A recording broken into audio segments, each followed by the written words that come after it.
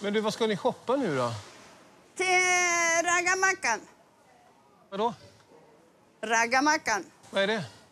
Jo, det är såna mackor som långtradarchaffisar äter. Ja, Vad, vad innehåller en eh, raggarmacka? Rostad brödskiva, lite smör, stekt fläsk, och det är så jävla ett ägg och så kan man lägga skiva tomat och lägga ovanpå. Där så. Där mummar det. Nu haffar lite fläsk där. Ja, Var kommer namnet ifrån? Raggarmacka? Jag kallar det för det, för de hade ett ställe, jag kommer inte ihåg vad det heter nu, det finns inte kvar. Men det stannade alltid lastbilschauffören och så hade de den här mackan där. Och jag har ju träffat många chaufförer genom mitt jobb då. Karar? Där mummar det. ja, Nu ska vi beragga macka här så. och det är så jävla gott. Så, varsågod. Det rinner i mun på mig.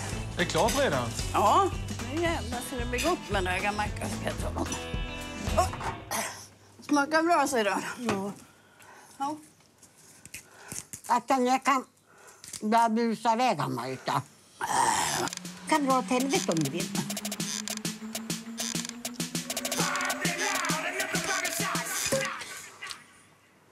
Var inte så jävla farligt. Turn down for what?